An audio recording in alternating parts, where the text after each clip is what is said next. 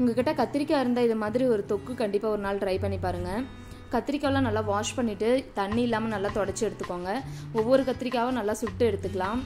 இப்போ நாலு பக்கமும் காமிச்சிங்கன்னா தான் நல்லா வேகும். இப்போ இது கத்திரிக்காய் சுட்டு எடுக்கிறதுக்கு மட்டும் தான் கொஞ்சம் லேட் ஆகும். ஆனால் அந்த ரெசிபி செய்கிறது ரொம்ப ஈஸி தான்.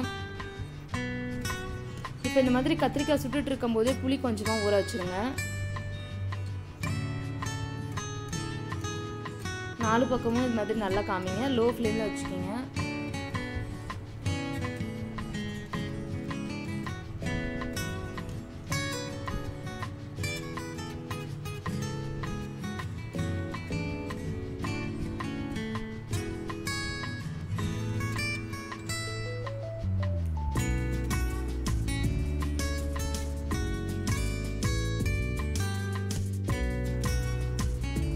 இது எல்லாமே சுட்டு இருக்காச்சு நல்லா தொட்டு பார்த்தீங்கன்னா உள்ளே நல்லா வெந்திருக்கிறது தெரியும்.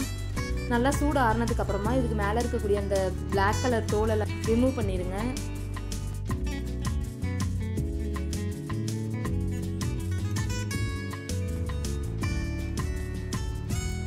ரிமூவ் பண்ணிவிட்டு உள்ளே ஏதாவது சொத்து இருக்கான்னு சொல்லிட்டு ஒரு டைம் செக் பண்ணிக்கோங்க. நம்ம எடுக்கும்போதே சொத்து இல்லாமல் தான் எடுத்துருப்போம். இருந்தாலும் ஒரு டைம் செக் பண்ணிவிட்டு நல்லா மசிச்சு விட்டுருங்க. இப்போ ஒரு வானொலியில் ரெண்டு ஸ்பூன் எண்ணெய் ஆட் பண்ணிவிட்டு அரை ஸ்பூன் கடுகு போட்டுக்கோங்க ஒரு ஸ்பூன் கடலைப்பருப்பு ஆட் பண்ணிக்கோங்க. நல்லா வதக்கி விட்டுட்டு இப்போ காரத்துக்கு ஏற்ற மாதிரி பச்சை மிளகாய் ஆட் பண்ணிக்க போகிறோம் உங்களுக்கு எவ்வளோ காரம் வேணுமோ அதுக்கு ஏற்ற மாதிரி ஆட் பண்ணிக்கோங்க.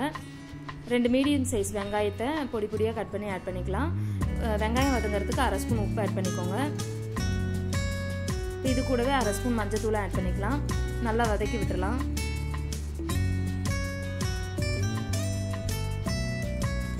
இப்போ நம்ம மசிச்சு வச்சுருக்கோம் இல்லையா அந்த கத்திரிக்காயை ஆட் பண்ணிக்கலாம்.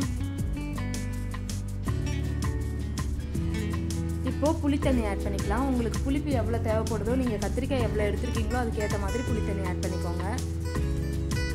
ஆட் பண்ணிவிட்டு நல்லா கரண்டியாலே மசிச்சு விட்டுட்டே இருங்க. கொஞ்சமாக தண்ணியும் ஆட் பண்ணிக்கலாம்.